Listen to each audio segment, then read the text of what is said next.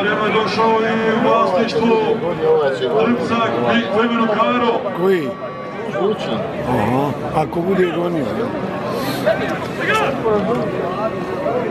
Dobar je Čučić, ćemo vidjeti.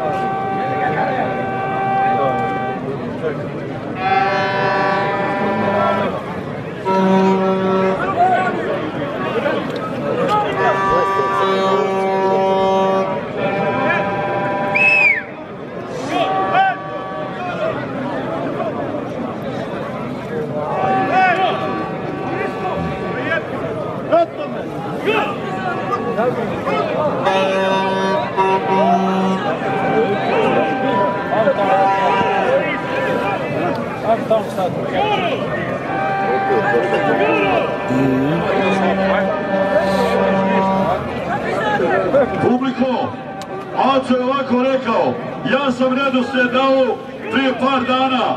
Ko je došao, došao, ko nije i neka odlazi. Nećemo mi praviti kuršuse i cirkuse. Znači, boje da najavim redoslijed. Ako se ne pojavi, ne mora više ni dolaziti. Eno borbi, eno sudara, eno udara. Da smo dobili pošteni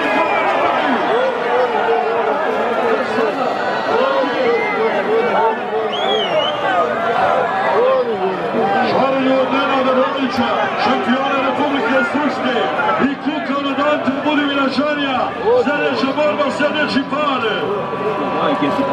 Ne, ovo se neće raditi.